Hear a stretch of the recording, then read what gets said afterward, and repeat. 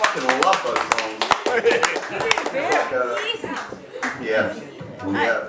So we were talking about we were talking about Lemmy before. I, I actually I actually met Lemmy.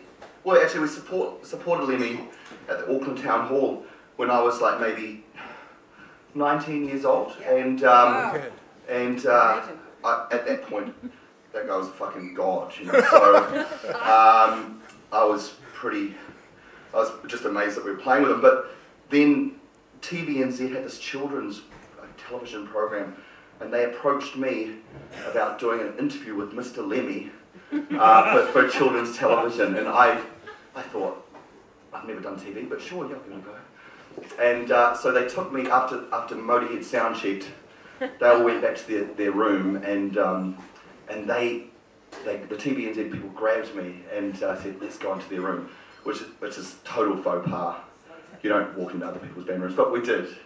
And then uh, she, the the producer said to them, uh, "So, Mr. Lemmy, we're going to do this interview. So, can you other boys uh, go away, basically, yeah, to, to Motorhead, basically.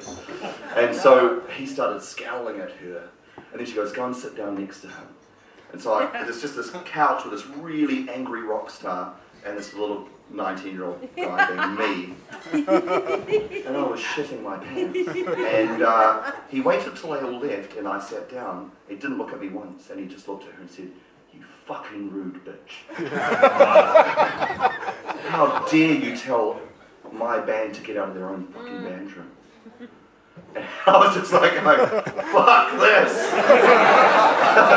I, want I just want to be anywhere else but there. And then he just, and then he just turned around and patted me on the knee and said, there, there, son, it's not your fault. it's that silly cow. I was like, fuck, uh, that's cool, but I still don't want to be here. Because he's really big, what he was really big. He was massive, like a tall, warty, ugly guy that happened to happened to be the most rock and roll human being imaginable. Like that guy literally did have speed for breakfast for 30 years of his life. I mean, I don't think that's a good diet, but